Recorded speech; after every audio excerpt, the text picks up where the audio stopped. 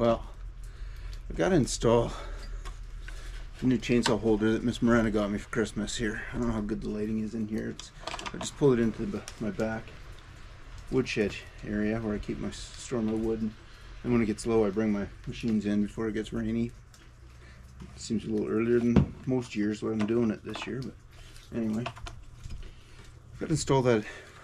I am becoming a huge proponent for this LinQ box this LinQ system that Ski Ski-Doo offers. Four four tabs. I'm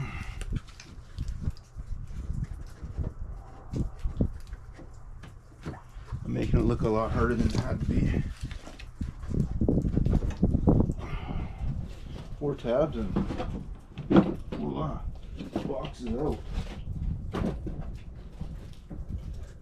And apparently this fit right in here.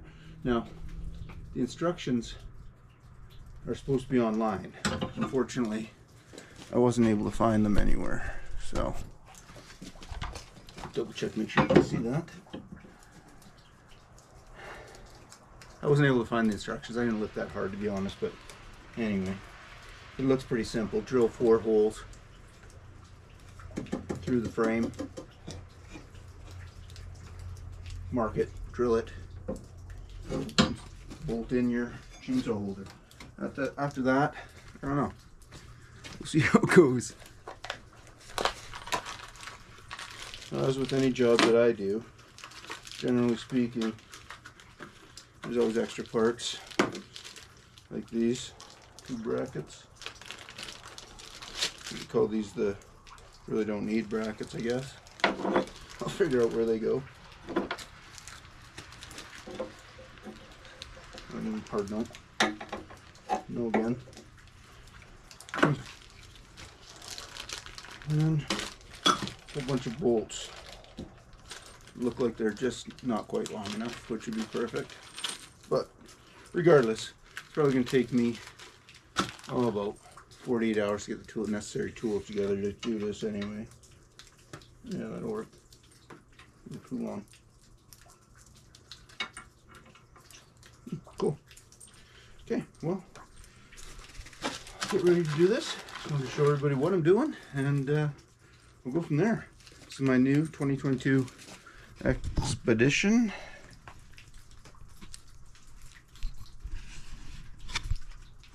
So, I am crazy happy with this machine. I got it last year. 600 E-TEC on it. CSE actually, I believe it is. I am crazy happy with it. The flotation is unbelievable. Um, I haven't touched wood, but I haven't even gotten close to being stuck, other than in my own driveway when it's a sheet of ice. Great shot. Great shot, Chris. So, as you all know, 2020, 21, 22, terrible years to try and buy anything. Um, I've been looking everywhere, talking to dealerships across North America, as a number of people were, and trying to find it, find an Expedition, a Tundra, Skandic you name it. And uh, well, turns out one came to me. Somebody, I guess, unfortunately, probably didn't uh, do do as well through COVID and maybe lost their job, but they had ordered this as is with the heated seat backrest, armrest, uh, the LinQ box on the back attachment, heavy duty rail. Ordered it, snow checked it that way, and luckily uh, I got a phone call from the dealership saying, hey, guy snow checked it but doesn't want it. Do you want it? I was in the next day and picked it up. I mean, yeah, absolutely I wanted it. And it turns out the LinQ box, I don't know how big that thing is. It's supposed to 90 liters, I imagine, but LinQ box is phenomenal. I couldn't have built a better box. Um, all the attachments that go on, I got a gun boot that I'm going to be putting on it. Um, the side mirrors, uh, just absolutely everything. Still going through braking. I've I've run two two tanks of gas in it. This thing just I don't know, it creates its own fuel. I think. I seemed to ride it quite a bit last year and never put gas in it or oil for that matter. Just That's 600 E-TEC. They knew what they were doing. And uh, yeah, Miss Miranda likes it as well. She'll ride on the back, or without those heated grips. I don't know that she'd go out with me too much, but I'll get it. pi- I'll get some tools together and we'll get started. About the same as anything I do. Um, spend about two percent of the time reading instructions. Well, that's a lie. One percent of the time reading instructions, one percent of the time staring at instructions, wondering what the hell the instructions actually mean. And in this case, no difference. Nothing different, I should say.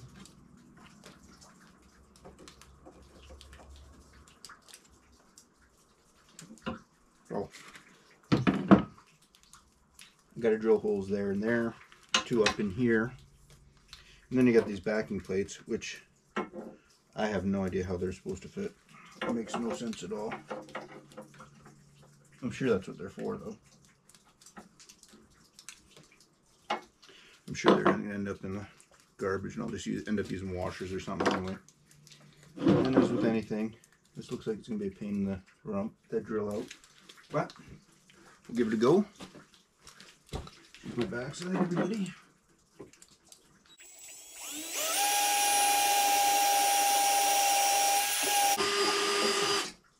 Hmm. That went incredibly smoother than I thought it would.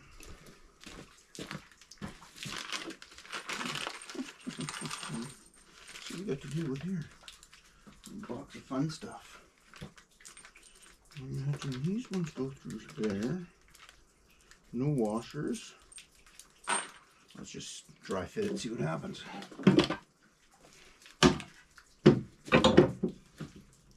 You see this is going to be in the way of my sled at times.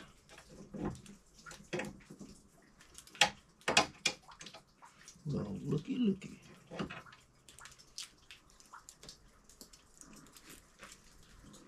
you guys want to give me a hand?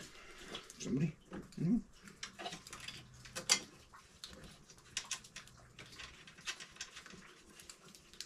Gonna falling off now, pal. so far, so good. Well, look at there.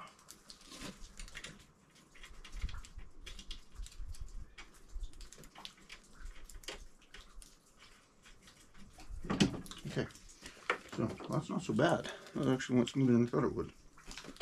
Uh, you want it plan B.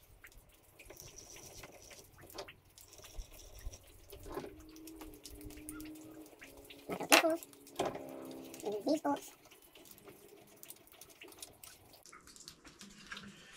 take out these here and remove chainsaw holder.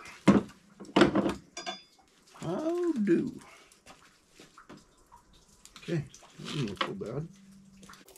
I'm going to take them back here. This goes. Let's see if we're in.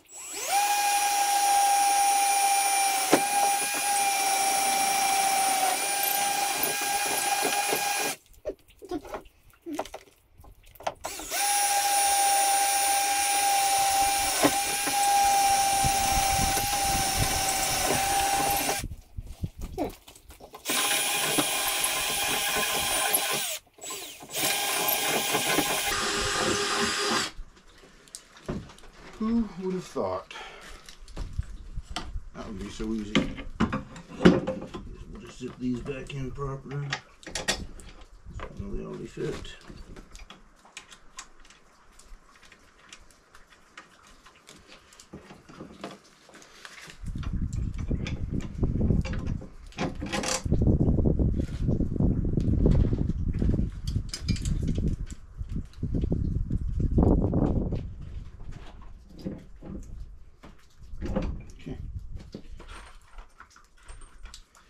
These are the ones that I don't understand.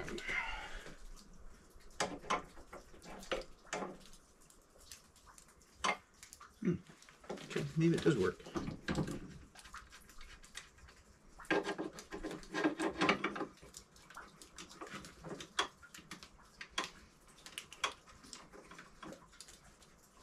Well, howdy doody. So these brackets do fit, but they only go on the bottom hole. They don't go in the hole that's through the frame. The frame's on its own. It's like a big FU to the frame, I guess.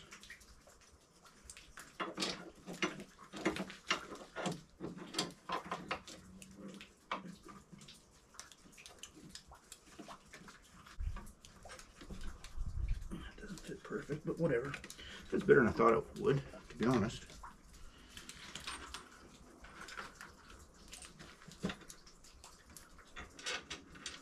What the heck? It actually fits too. How can that be? Hmm. You just know this is going to end up on the side of the road, side of some bush trail somewhere. That feels like that needs a washer of some kind, otherwise that's just going to compress it. So I'm going to go find some washers. I'll be back. I guess before I get too too carried away here, there's two more holes that I could drill down in these bottom brackets. I don't think they're where they're supposed to be, but whatever. They're close, right? I'll just drill those out real quick.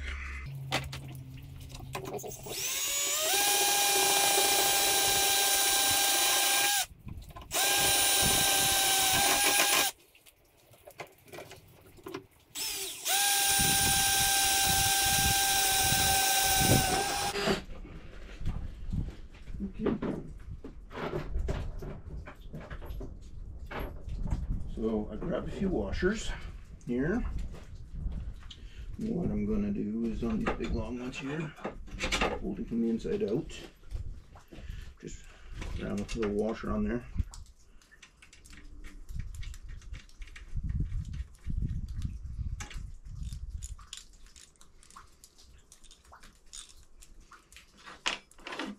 Just half done.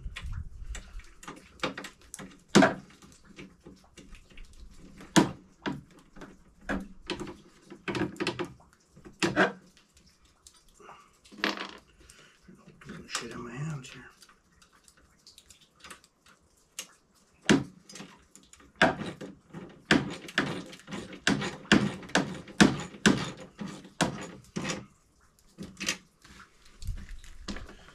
I'm pretty impressed with this so far. I hope the chainsaw fits it.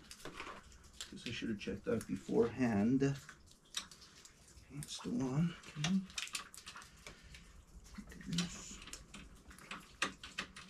no way I'm gonna get the socket onto that, so let's just see what we can do here. 0.0 chance.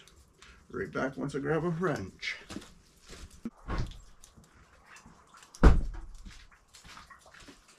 Yeah, it had to be a 10 mil. We all know what happens with 10 mil. Well, nobody knows what happens with a 10 mil. Yeah. It just sort of disappeared on all of us. But I found one. Not the one I wanted, but.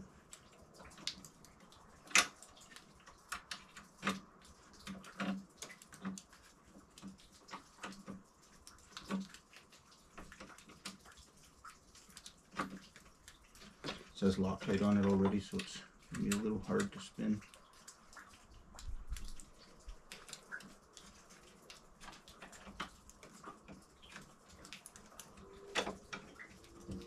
This is usually when I find out that I forgot to put the washer on.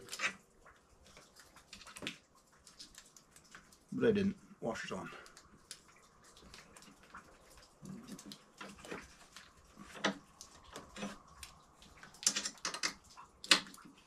I'm gonna crank this a bit. Torque specs be fucking damned. I don't care.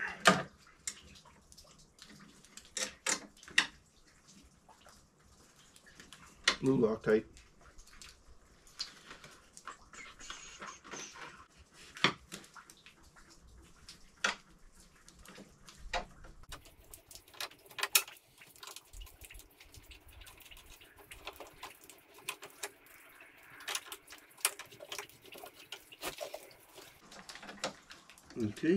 six bolts here.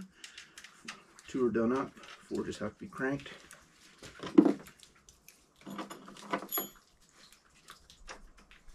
Start this little fella.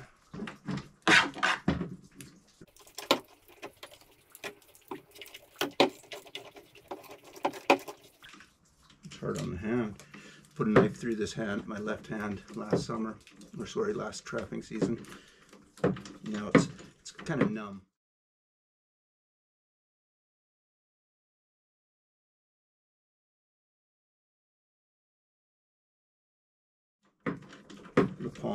Hand is numb where I jammed the knife into it, broke it off.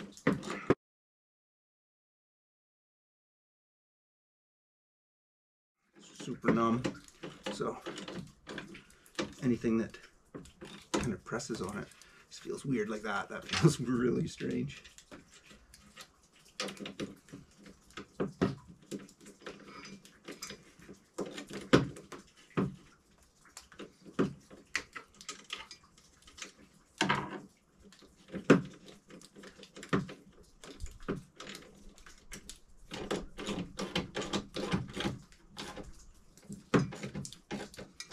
Looks pretty good.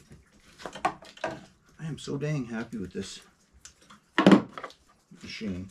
As long as that sounds, I'm just, you're used to everything being a pain in the ass, you know, like, golly, I got new headlights for my quad. You needed an engineer, mechanic, an architect, and, and a French bore to help you put those in. And even that, even with all that help, needed a whole bunch of luck still. That was terrible.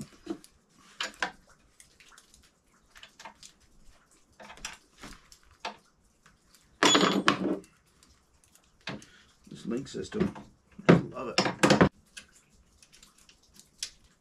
It's like a guy who rides snowmobiles actually designed everything.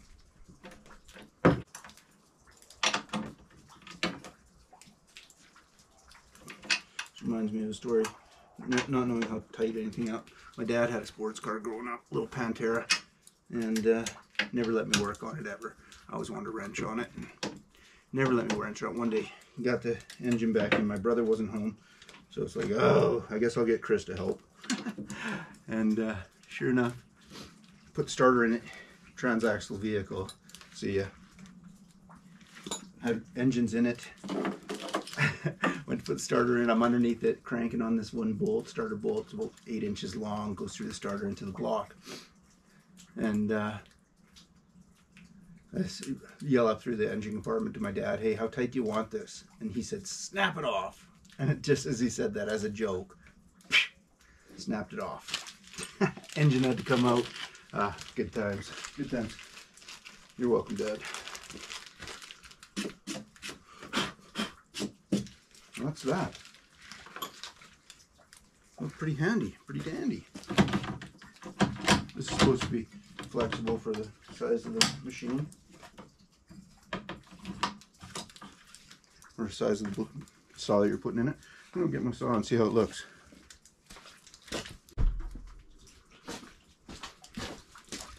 All right. In with the cover or no?